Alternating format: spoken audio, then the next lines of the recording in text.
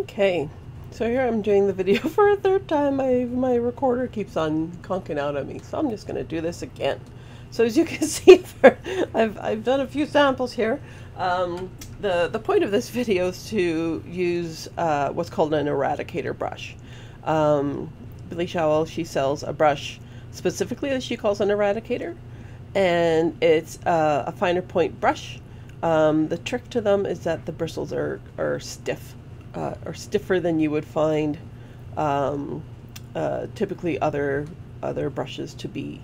Um, you could use, um, you know, your your finer point, but I find like this is very sort of floppy, whereas this has some resistance to it. So that's kind of the point. Um, I use this one. It is a Robert Simmons SN60 flat shader. Uh, I initially bought this for another purpose, but I started using it as an eradicator, and I think it's uh, it works quite well, and it's a little cheap and cheerful brush. So the trick to it is you wet your your brush with water, but then you want to take a bunch of the water off, and then you start rubbing at it.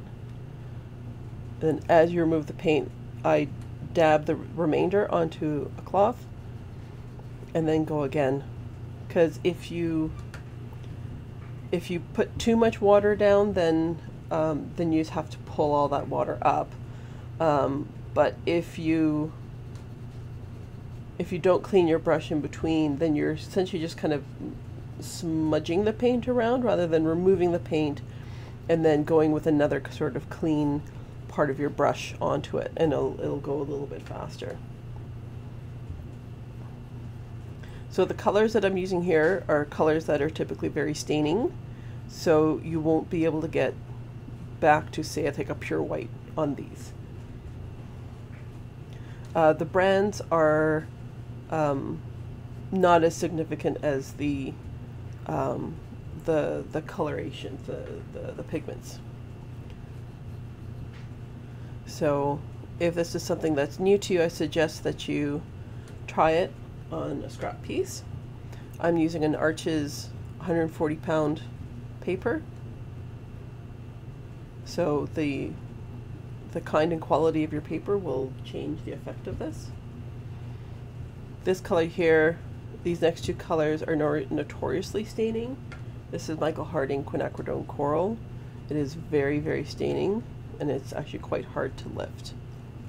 Doesn't mean you can't, you just have to work at it a little bit more which means you might not get as pinpoint accuracy with it. And then this is core Nickel Azo Yellow, which is again very, very staining. If you happen to, oh, my laundry's going. Um, if you happen to dribble a little bit, right? So this one, I, if you pick up the paint, you can paint with it. Um, but if you happen to dribble a little bit, you can try this first, depending on how staining the paint is, before you use a magic eraser. You can uh, you can try to lift the paint this way, but if it's a very staining color, like especially like this one, then the chance of you getting back to white is pretty low. But I've found like the magic erasers work, but they really chew up the surface of the paint of the paper.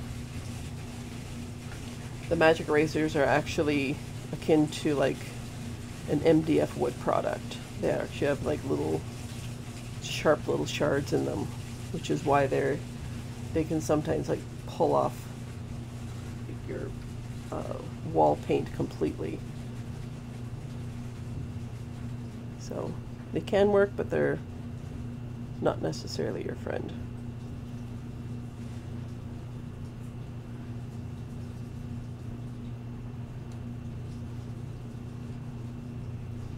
Yeah, so I found, uh, now that I've learned this technique, I found that it's very, very useful to kind of add that highlight in. I uh, encourage you to give it a try and uh, see how it works for you.